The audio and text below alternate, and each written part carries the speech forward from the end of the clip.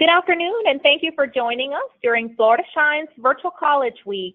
My name is Nashla Dawari, and I will be facilitating today's session, College Athletics, where you'll learn everything you need to know about becoming an athlete in college and meeting all the requirements while completing your degree. Now, before we begin, I want to go over a few items with you. If you have questions, please put them in the questions section and we will address them during the live Q&A at the end of the presentation.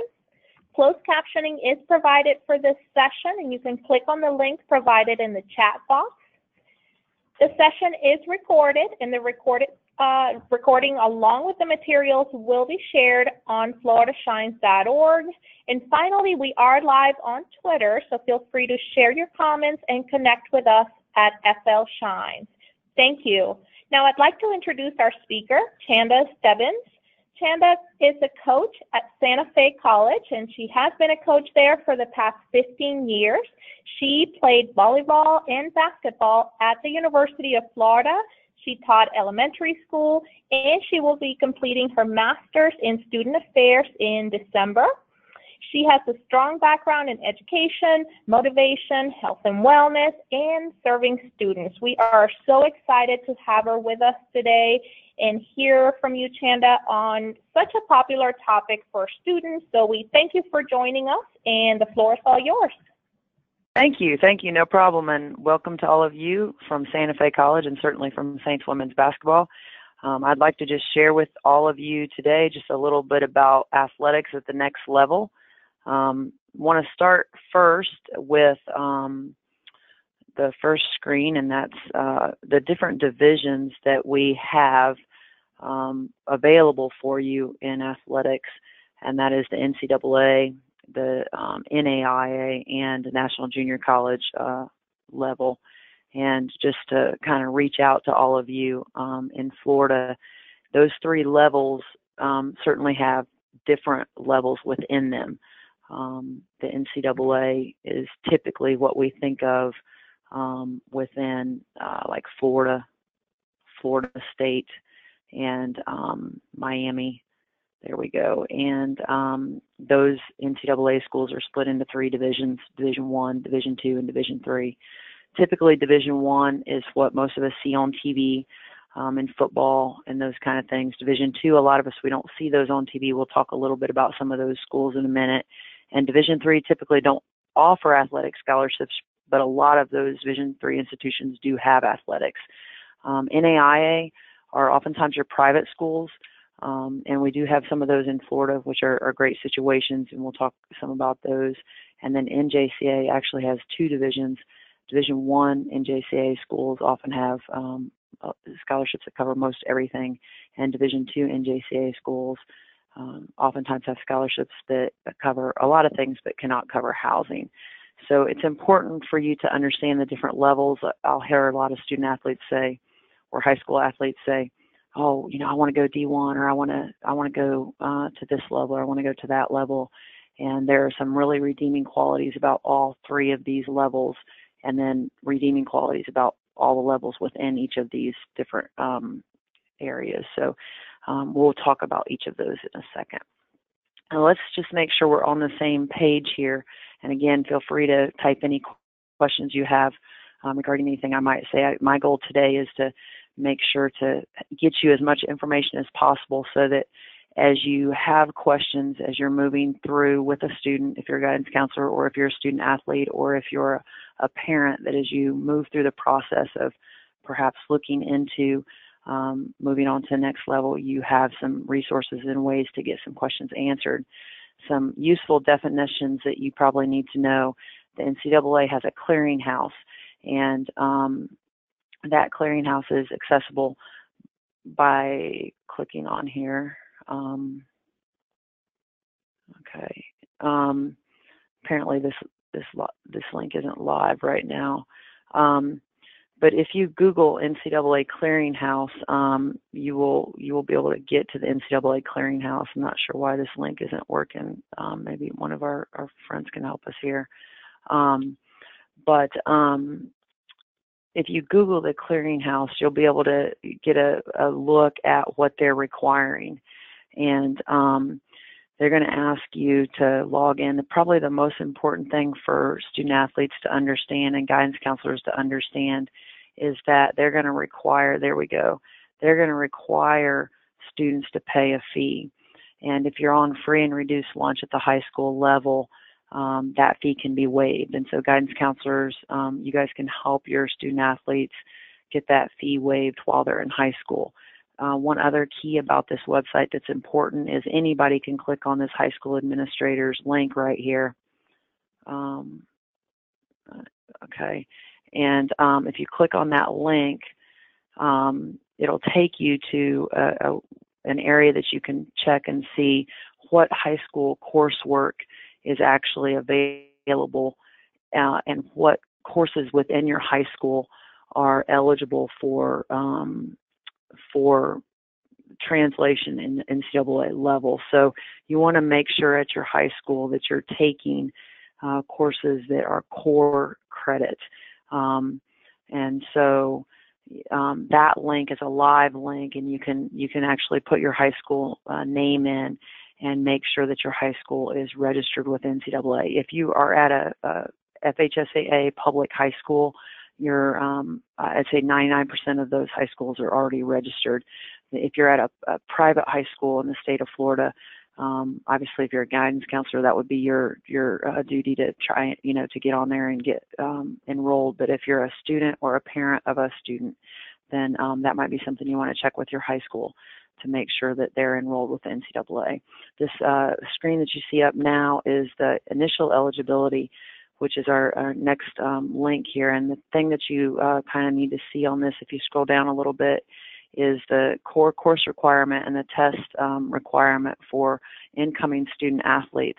And um, the Division One core requirements are four years of English and um, and then 16 core courses altogether. And that previous screen that I was going to show you guys that you can link on to your, your high school, that will tell you how many um, of your courses at your particular high school. And again, this would be relevant just to you. And, and again, that's why it's important for you to, on your own time, to look up that high school, um, is to um, see how many of your um, high school credits will carry over. And your guidance counselor can do that with you. Um, because the Division One and the Division Two, yeah, right here on this high school administration link, um, your high school um, administrator can help you walk through that. And of course, you can do all of this before the NCAA either deems you eligible or not eligible. Um, yes, thank you. And if you click right here on um, uh, list of NCAA, yep, and then uh, you're going to actually um, resources. You can you can look up your high school and look it up based on your high school's name. And um, you don't have to be a guidance counselor to do that. And of course, obviously, guidance counselors, you can look up a certain course right away, and, and probably many of you guidance counselors already do that. And um, this would be really important if you're trying to decide what courses to take, maybe through a, a virtual a virtual school experience. Um, I'm sorry, if you go to um, resources and then click on login, um, and and we can we can go back to the we can go back to the uh, PowerPoint. Th thank you guys, I appreciate it. Um, the the point for um, I, go ahead. I'm sorry. We're clicking back and. I was going to say, we are happy to drive. If you'd let us know where to go, we're happy to be the drivers here on our end for you. Okay. okay. So um, for high school guidance counselors and students, the important thing, and you'll be able to see once you start to navigate that, because um, I know I'm jumping around a little bit too much for you guys. So just to understand, when you go to the clearinghouse website, just understand the high school administrator, even though you may not be an administrator, you can click on that and you can actually look up your high school without necessarily putting any login information. And that's the point I want to make about that, that link. Um, the initial eligibility link, the the uh, PDF that they had up earlier. The point about that is understand that Division One requires 16 core courses. Um, when you look at Division Two, they're going to require a little bit less, and um, so that's the differentiation differentiation between Division One qualifier and a Division Two qualifier. Um, the Division One will go with a sliding scale, which some of you have probably heard of before. And a sliding scale simply means that your ACT or SAT score is going to be um, need to be higher if your GPA is lower, and if your GPA is higher, your ACT score can be a little bit lower. Um, so I want to also point out here on the right of, of this NCAA, um, a lot of people say, well, you know, my sliding score test score is a little too low. I'm only a D2 qualifier. If you take a look at some of your D2 institutions in the state of Florida, and obviously I've only listed the Sunshine State Conference, St. Leo, Rollins, Florida Institute of Technology, Lynn, Nova Southeastern Barry, um, Florida Southern you have a, a ton of really solid institutions in the state of Florida, in addition to the flag flagship institutions that many of us see on TV every weekend. And so I would just uh, remind you, no matter what sport you play, uh, do your due diligence, which we'll talk about in a, a minute, in looking at all your institutions. There are a lot of private and state institutions that are very solid and um, regardless of what sport you play, it's very important to have an idea of what you want to major in because some institutions are, are better in certain majors than others. But again, we can talk about that in a second. We'll move on to the NAIA now. And um, on the NAIA page, uh, their definitions of uh, what make, meets eligibility, again, are a little bit different. We can go to that clearinghouse on the NAIA page. Thanks, guys. Um, the NAI uh, also has their own clearinghouse. You will have to pay for that as well. They also have um, a similar fee waiver that the NCAA does. And we're not going to click on any links on this one, but they also have like the high school administrators and counselors links. They have a different um, area for the, the U.S. students and the international students. Um, and then at the, the nice thing about the high school and administrators link for, for this one is they have really good videos um, and uh, eligibility uh, information. So these are things that you can show your students. If you are a student and you're on here or you're a parent, these are areas that you can go and get more information about the NAIA. So again, clicking on high school administrator, um, not necessarily now, but you know, uh, when you're at home would be a, a good um, option for more information as far as the NAI is concerned. And if we want to go back to um, the, the PowerPoint and click on initial eligibility and then go to page four of that, that would be fabulous. Um, the, the NAI for initial eligibility also is a little bit different. They have like a three-pronged approach that you need to um, get two out of the three prongs, and it's, it's page four. Uh, so you're going to slide down to page four. Um, for the NAI, they look at um, things that are rel- relative to your high school. So, like, were you in the top half of your high school? Um, I, I believe it's up a little bit, guys. I think you went too far. Um, they look at if you were in the top half of your high school, for example. They look at if you were, um, if if you I believe it's your SAT and ACT scores, and then your GPA.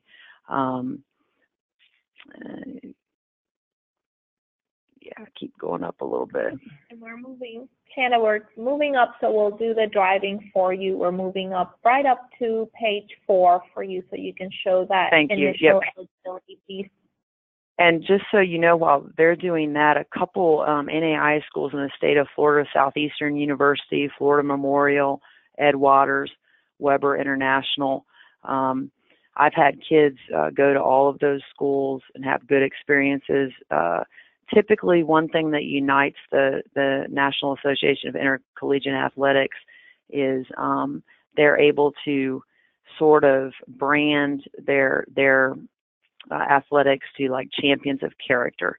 So they sort of try to um, go after a different kind of uh, mantra. Sometimes they're Christian schools, um, sometimes they're uh, HBCUs, like uh, sometimes they uh, tend to be smaller or um, or a uh, a really um, special um, orientation that they're going after. Um, and we can keep going up just a little bit. It's a it's a chart on page four. There we go, right there, right there. So they have a, a three-pronged approach. You have to meet two of them. The test score requirement, so a minimum of uh, 16 on the ACT and 860 on the SAT. Um, a minimum overall high school GPA of a 2.0 or graduate in the top half of your high school class. So as you can see, there, um, their approach is a little bit different than the NCAA's approach, and um, for everyone, it's a little bit different. And obviously, transfer requirements are different for everybody. Um, and they have different requirements for GED students, which are students who graduate with their um, general uh, education diploma. And then homeschooled students are a little bit different. And then obviously, international students are a little bit different. Now, if we move on to our, our third um, group of institutions, that's our National Junior College um, Athletic uh, Association. And the nice thing about the NJCA is there is no clearinghouse. Um, all of our uh, National Junior College Athletic Association institutions academically have an open access um, policy. That means that there are no um, entrance policies. Uh, anyone can attend. Um, it's just a matter of what you take once you actually enroll at those institutions. In order to participate in athletics, however, at a National Junior College Athletic Association um, institution, you would have to complete your GED or um, receive your high school diploma. That is what would gain you initial eligibility. There is no initial eligibility requirement of an SAT or an ACT score. Um, dependent upon the institution and the requirements of that institution, you may be asked to take a college placement test to determine what level of coursework you may be taking at that high school. Typically, in the state of Florida, if you have graduated from a, um, a Florida public high school, you can exempt out of college developmental education, or you can choose to take that if that's what your test score indicates is necessary. Um, if you click on our, our Florida College um, State um, Activity Association logo, we'll show you some of your junior colleges here in the state of Florida. Um, and, oh, we went to the next screen here. Um, if we can, yeah, click on the Florida logo there. Um, in the state of Florida, we have a number of, we have 28 junior colleges. Not all of them offer um, not all of them that's a little bit different screen that, than I'm used to seeing, but um, we're missing the, the logo of, of all the colleges. But um, there we go. Yep. The college logos aren't up there. Um, but we have uh, colleges all over the state, obviously. And then if you want to click on athletics, we can skip highlighting the colleges. Um, but we'll, if you click on each women's sports and men's sports, we'll give them a look on what sports. So we have baseball, basketball, cross country, golf, soccer, swimming, and diving, and tennis. And then on the women's side of things, we have basketball, cross country, golf, soccer, softball, swimming, diving, tennis, and volleyball. If you go back to men's sports, I know we may have some football guys in the house wondering why isn't there football? Um, in the state of Florida, the junior college system is not allowed to have uh, football. If you go down to non-FCSAA sports, you'll notice that ASA, which is not a, a Florida College Systems institution, has uh, football. And, um, you know, we don't need to click on that or anything, but they um, do host football. They're the only institution, and they're not a, a Florida College System institution. So, um, you know, they operate a little bit differently than Florida College System institutions, but they do have football as a two-year institution. Um, the most important thing to take out of the NJCA um, definitions is that there is no entrance requirement other than your high school diploma or your GED, and the initial eligibility for a junior college athlete is graduation from high school. So you can enter um, as a as a graduating high school senior and play immediately at a as a freshman in um, a junior college institution. So again, if you have um, entrance or eligibility questions, you can type those in. We're going to move on to our next um, next uh, slide, which really has to do with okay, so now I understand um, about the next level. What do I do if I want to go to the next level? So it's really important, no matter what you're going to do, if you're going to go to the next level, it's really important to finish your junior, senior year really strong academically. Uh, we have a lot of kids that um, maybe, you know, kind of slack off their senior year, kind of get a little bit of senioritis. Um, just realize that everything you're building on right now as a junior and a senior are things you're going to do down the road. So your algebra, your histories, your Englishes, those are things you're going to revisit your freshman and senior year. Uh, I'm sorry, your freshman and sophomore year of college. So um, this isn't the last time you'll see algebra. Unfortunately, it's not the last time you'll write a paper. So finish strong your your junior and senior year of, of high school. I, I believe you um, already had an opportunity to listen to some um, some information about Bright Futures. The one thing I would warn you about that is a lot of times people will say, "Well, I'm going to get an athletic scholarship. I don't need to fill out the Bright Futures." Um, if you get an athletic scholarship, you can get your Bright Futures money back as um, a, an expense that you can use on living expenses. So just make sure you fill out Bright Futures. And also, if, if you know two years down the road you decide not to play sports, you will want that Bright Futures money um, to pay for tuition. So it's always better to fill it out and then not need it than to not fill it out. And obviously, always complete the FAFSA um, which is federal uh, financial aid. Remember, you should never have to pay to fill out the FAFSA. So hopefully you have some other presenters, and, and I know you guys are going to post some of that information, um, so I don't have to cover much of that. Um, now let's get on to the good stuff about being a recruit. I often get asked, no matter what sport it is, you know, do I have to do I have to play AAU? In the state of Florida, obviously football is is a really premier sport and so probably one of the most important things you can do from a football standpoint is make sure you're involved with your high school team play spring football be involved in summer workouts as far as your other sports like basketball and um, soccer and some of those being involved in your club programs and your aau programs um, is it required well you know it's probably not required if you're a great athlete but one of the reasons I say that it's a great recommendation and most coaches put a lot of weight into it is because one thing that AAU or club seasons do for athletes is they get them a lot of games.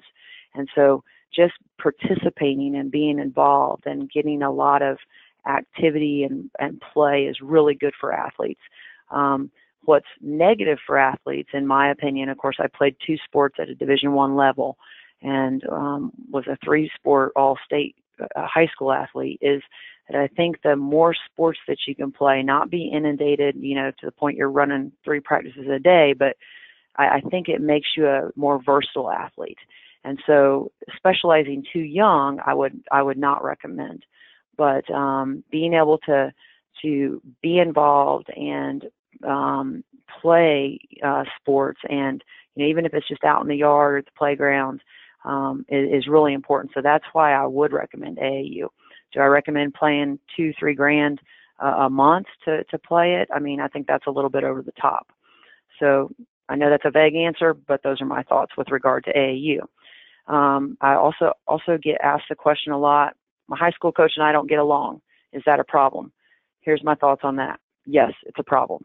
Um, find a way to get along with your high school coach most high school coaches, um, everyone's got personality differences, but find a way to get along with your high school coach. Um, most of the time, they're coaching because they love the sport. They want to help you become a better person. They want to help you become a better player, better uh, student, better athlete. So um, listen to them. They oftentimes have your best interest in mind. So yes, find a way to um, listen to what they have to say. Maybe not always to the way they're saying it, but find a way to hear what they're saying and what they mean. Um, another question I hear is, well, you know, how important are my stats? My coach doesn't play me enough, or I don't think I shoot enough. Um, you know, I think I go to a ton of high school games, and I'm oftentimes looking at things like footwork. What's the what's the player doing when she's away from the ball? Um, what's her body language like in timeouts? Um, how does she treat her teammates? Um, is her is her eye contact on her coach? Is she always complaining to the officials? So I think stats are eye catching and stats are good, but they certainly don't tell the whole story. So if I were you, I would really work on things like your left hand, uh, things like being a complete athlete, um, things that make you a well rounded person, and things that make your transcript solid. Um, and uh, the stats will probably happen on their own. All right, so in the process of being recruited, um, you know, it's really important, I think, for um, parents and students to find that that good balance between who's in charge, the parent or or the student. I think college coaches, when they're recruiting um, kids, they they sometimes get turned off by parents that are over controlling, or parents that uh, want to, you know, be in charge of everything because after all, when their student comes to college, the, the, the coach is going to be dealing with the with the student, not with the parent. And so, I think parents have to have to walk that fine line between allowing their student to be recruited and also um, guiding their their child in the recruiting process. Um, with that said, I think parents also need to be careful how how they behave. I've known a lot of coaches that stopped recruiting a student because of the way parents acted in the stands. Um, students, you know, I think you have to be aware um, that the reason your parents do get involved in recruiting is because you're quiet and don't ask enough questions. So, you know, maybe sitting down with your parents and talking about some good brainstorming, some good questions you might want to ask on campus visits will be important. Some of the best questions I tell my players to ask are not do you like it here? or what do you think? but very pointed questions like you know what happens the day after a loss? or um, how diverse is your campus? or you know what is your campus like when it's quiet? or um, you know how many morning classes do you have or how much running do you have or what does a weight day look like um, as you begin to ask questions about the campus or about practices or about the coaching staff or about how their program is run, keep those questions and keep logs of those um, of those dialogues. That way, you can sort of start to ask similar questions to each of the programs that are recruiting you. Um, it's difficult if certain programs are recruiting you and you're asking each program different questions. It'll be difficult in the end to compare them because you'll be comparing um, different questions. So I just would recommend, you know, start coming up with um, questions that you think fit for what you want. So that kind of leads us to the to the next slide. I always tell my players before you get to the point of making a decision, start choosing what would be the top 10 characteristics that would be the right fit for you, um, which is on the next slide. So for my students, I have some students that say, you know, coach, one of the top 10 characteristics for me is I, I've got to go to a school that um, is in, you know, a, a metropolitan area. Or, coach, I'm okay with a school that's in, you know, the country. Or, um, I absolutely know that I want to major in nursing. So, coach, I've got to go to a school that has a pretty strong healthcare uh, major. Um, and you know, if you're a high school junior, you may you may not know what you want to major in. That's okay. Um, but start jotting down some things that are really important to you. Um, and parents, you can help with this um, by reflecting to your student. Well, you know, you seem to you seem to kind of stay at home a lot on the weekends.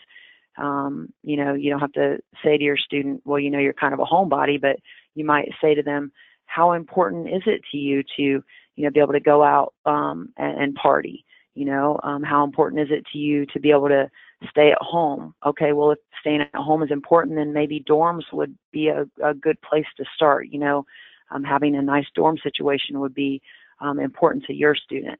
If your student is always happen to be around people and you know do things, then maybe a bigger campus setting would be good. So you might want to ask questions about what student life is like at that institution. Are there activities? Are there student organizations that would be of interest to your to your child? If your child is one of those students, or if you yourself are one of those students that is involved in a lot of high school clubs, then you might want to ask what clubs are available at the institution you're looking at.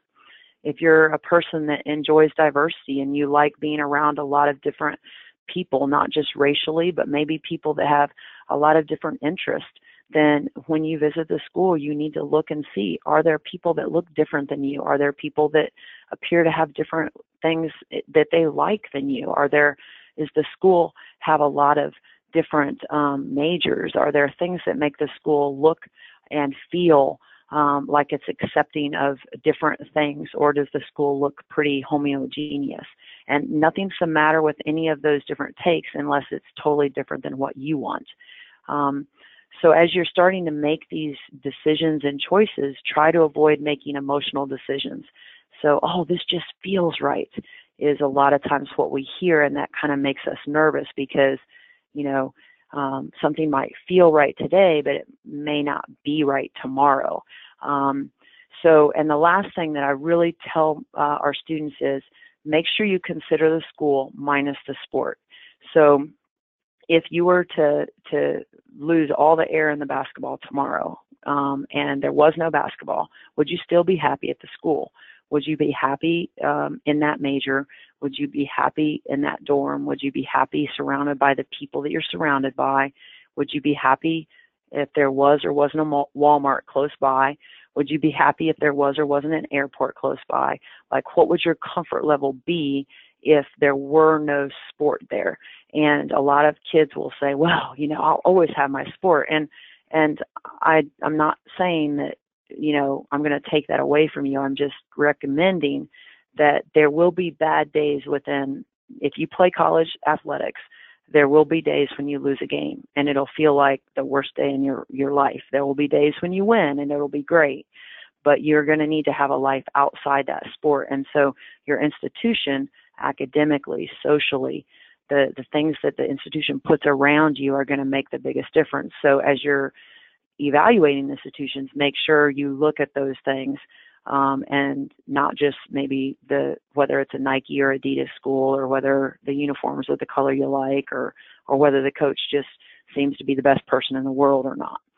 So those are some things to think about. I'm more than open to any questions that, that people may have. Um, and I, I hope that I've covered enough things to at least get some people thinking. Um, thoughts, questions? Thank you, Chanda. Yeah, like you said, I'd like to invite our audience now to send any questions you have for Chanda. And let me just say that while we're pre preparing for those questions, we have shared the links uh, in the chat box, and we will also have a copy of this presentation available with all the links after uh, the session. So if you miss any of them, either find them in the chat section or you will have a copy of uh, the presentation from today with those. And I just wanted to thank you for sharing this information with us today. It really is not only about being a good athlete, but meeting the eligibility, eligibility requirements, qualifying. There's a lot of focus on the academics, balancing the training and life in general. So lots to think yep. about uh, to become yep. an athlete in college. Um, Chanda, our first question is uh, related to eligibility. Uh, according to the Florida High School Athletic Association, uh, the student is not eligible to play basketball during their senior year of high school. Can they still play in college? Okay, so that's a great question. Um, it whether they play in high school or not does not affect whether they play in college. So you if if you don't play on a single team at all in high school, you can still play in college. So college eligibility is different than high school eligibility. Um, now, let's be realistic. If they were not if they were not meeting eligibility in high school, there was probably a reason why they weren't meeting eligibility. So maybe their GPA wasn't high enough, or maybe they didn't have enough credits. So let's let's just pretend hypothetically they didn't have enough credits to play in high school.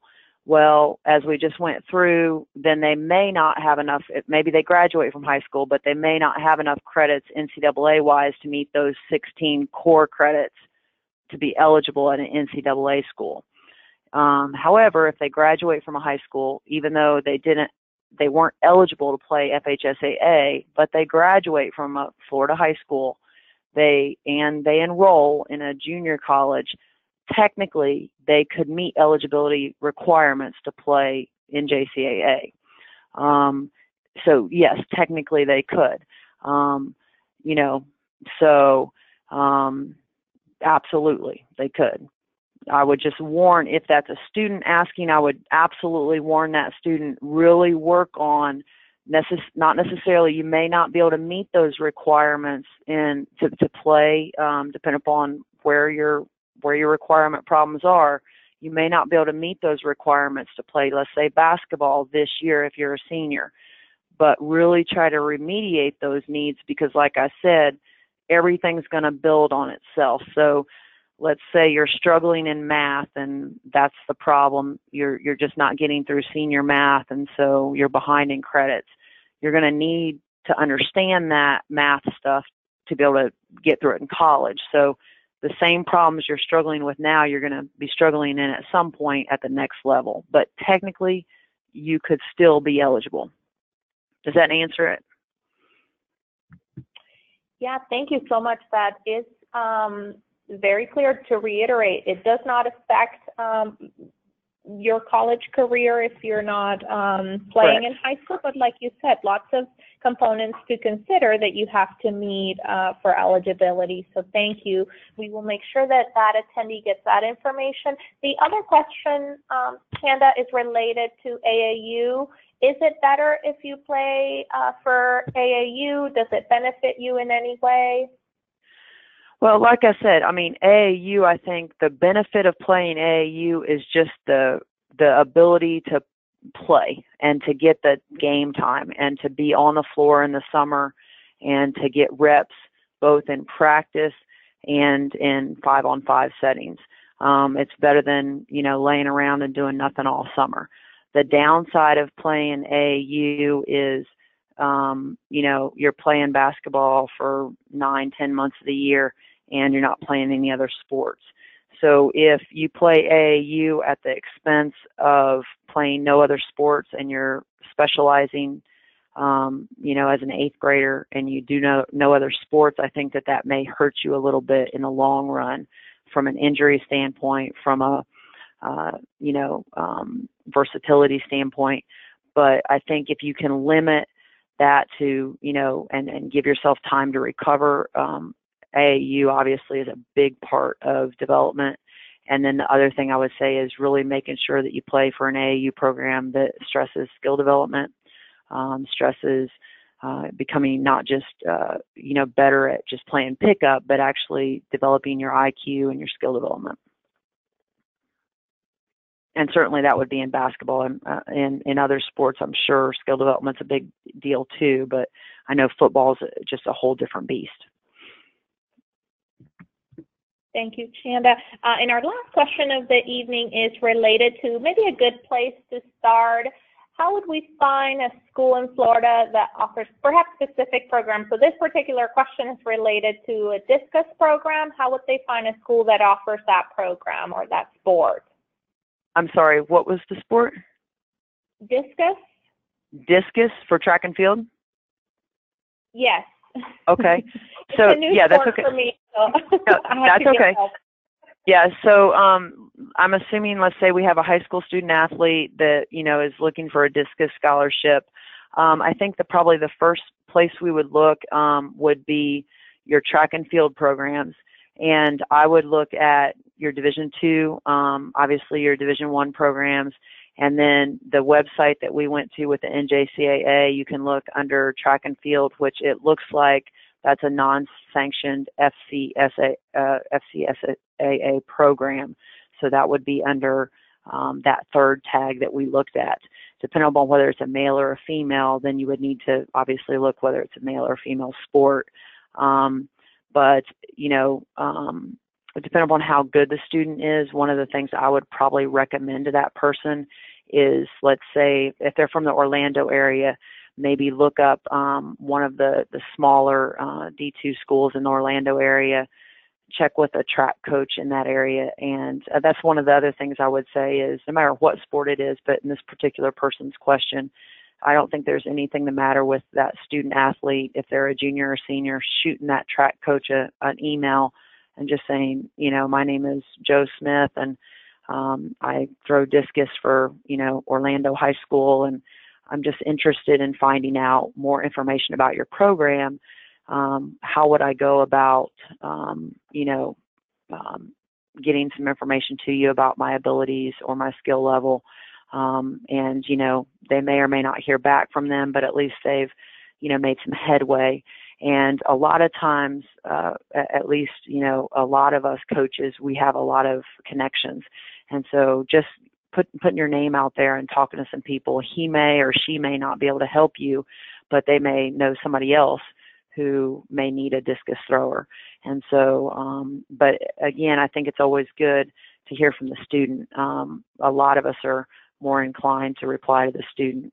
And, and one other thing I would say about that, if I may, is a lot of people ask me, should I sign up for these national scouting services that people are always telling me to pay for?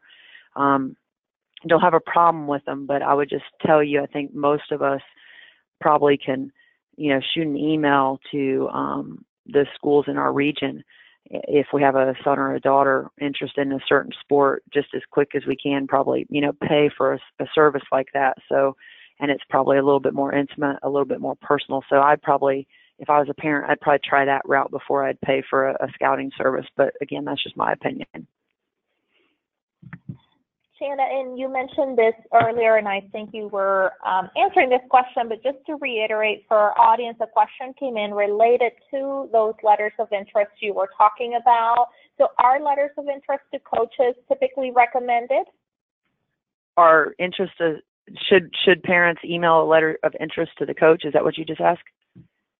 Yeah, and the question doesn't say whether it's a letter of interest from the parent or the student, but are they the same? Which one is more recommended? Okay. Sure. So here's what I recommend. I I am always extremely pleased and and very interested when I receive a very well written and a very mature letter from a student.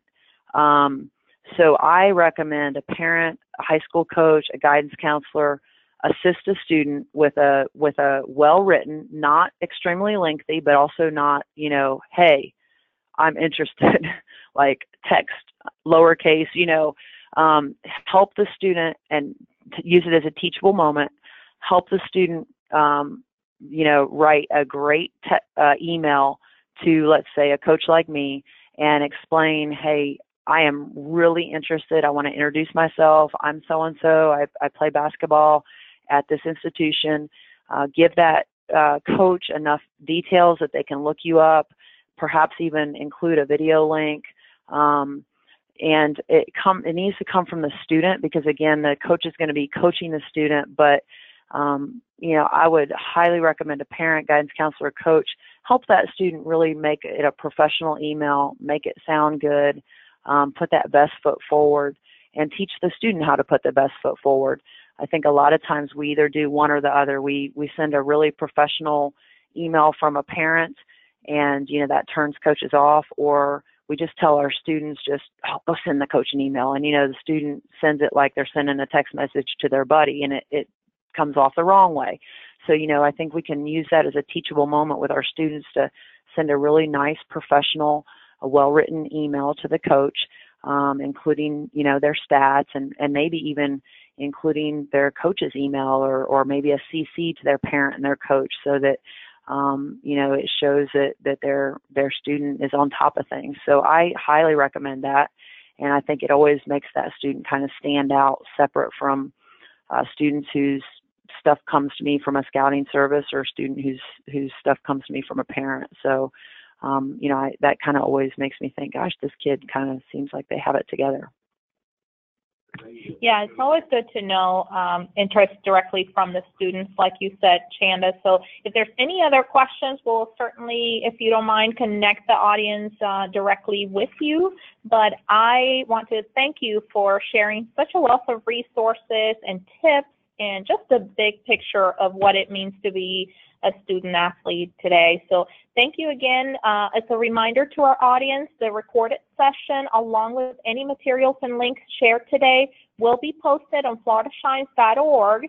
Now, if you'd like to learn more about college success, financial aid, and what parents can do To help in the college process, join us tomorrow for an enti- entire new series of live webinars and new topics during Virtual College Week. You can sign up for those topics at virtualcollegeweek.org.